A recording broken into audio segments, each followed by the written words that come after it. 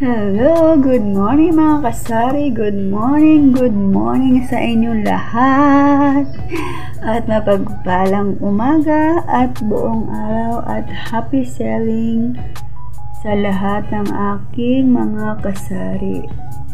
For today's video mga kasari, I'm happy to share with you na for the first time magkakaroon na ako ng ahente. Ano lang yung mga kasari, yung nag-iikot sila dito, yung, ano daw yun eh, URC. URC. Ang tawag sa ano nila. Nag, nagde-deliver ng mga paninda. Ayan. Pero, ang mga paninda nila mga kasari, ano, hindi ganun kakompleto tulad ng ibang yung tulad ng grocery, yan. Hindi, hindi ganun kakompleto.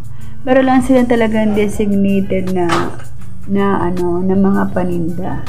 Tulad ng mga syrup powder, ayan. Mga products ng ano, ng mga ano ba ba yun?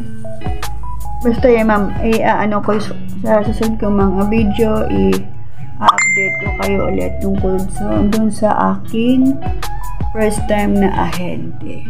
Yan.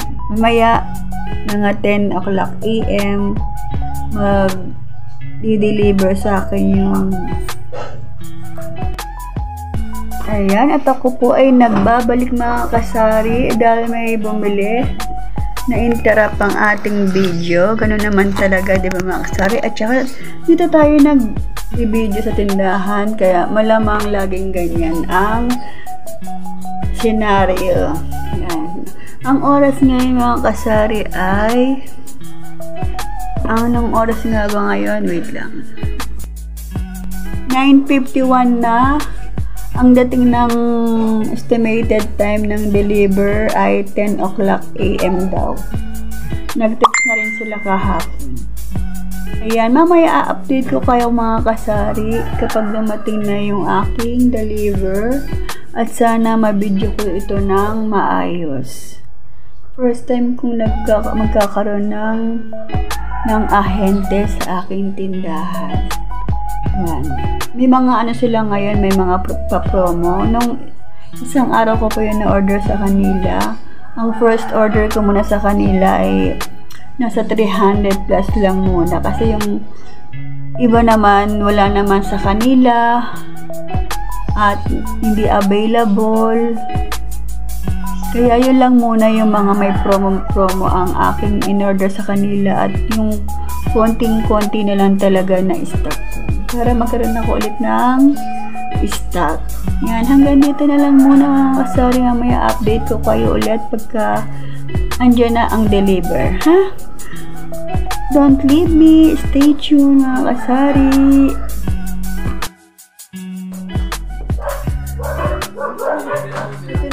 Dumating na yung time na ito dumating. Darating lang ng yung ano sa Durasa sa Ayan, i-receive ko na po dyan yung mga na-order ko. Mga sa Durasa Interconnection. As you can see, kinukuha ko na yung bayad ko. Inabot pala ng 327 yung binayaran ko sa mga order ko mga kasari. Tapos, ang na ano ko na save ko or na ano ko natipid ko ay bale ano 15.84 ayan habang nire-receive ko yung order ko, merong bumibili ng Happy Peanut.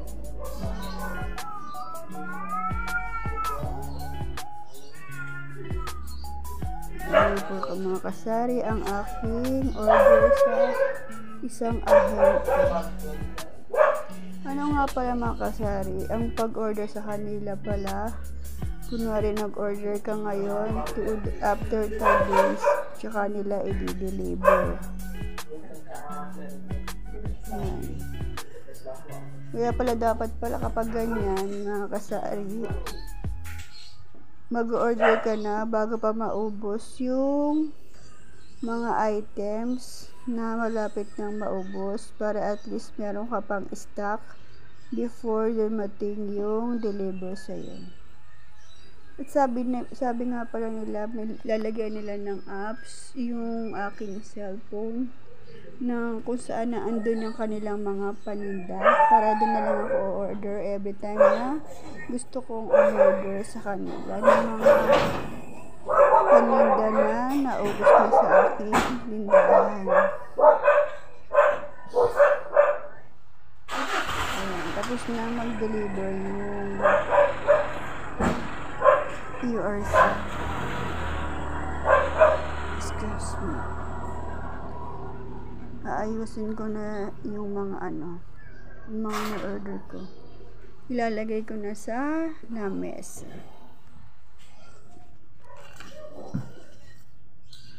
Medyo against the light mga kasari. Kasi ano, kapag ganyang maaraw, against the light siya. Pag nandito ako nakapesto sa may banda sa may ano sa lamesa mga kasari.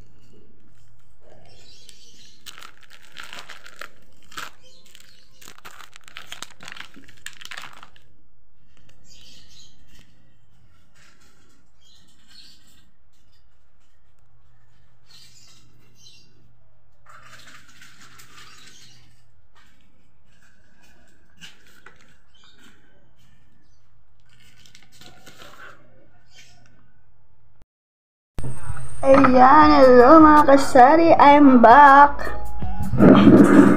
Ayan, dumating na nga yung order natin. Yung sa ahente, ano pala sila? Beraza and Corporation. Ito, ito mga kasari, ang in-order ko sa kanila, oh.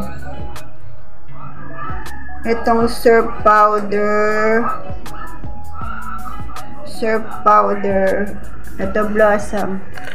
Ayan. Ano, may mga promo sila mga kasari. Plus 1. Ano sa kanila to? 34.80. 34.80 tapos plus 1. And then yung kulay ano naman na rose. Surf powder na rose. 34.80 rin. Ito. Rose fresh. Plus 1 din to mga kasari.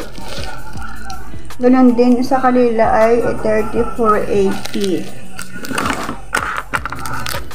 O, diba? Hindi ko na kinailangan pumunta din sa sa bayan para mamili niyan. Tapos, isang surf popcorn. 31.80. Meron din silang free na isa. 31.80 at saka itong kulay kulay pula 31.80 din. And then, umorder din ako sa kanila ng bacon spread. Ito, bacon spread nila ay 64 64.80 hindi ko hindi ko matandaan kung magkano to sa ano dun sa Super 8 dun ako nabili ng ganun sa Super 8 tapos itong chicken nor chicken cubes. 12 pieces siya 12 pieces meron siyang free na isang greatest white. Bali, ano sa kanila to?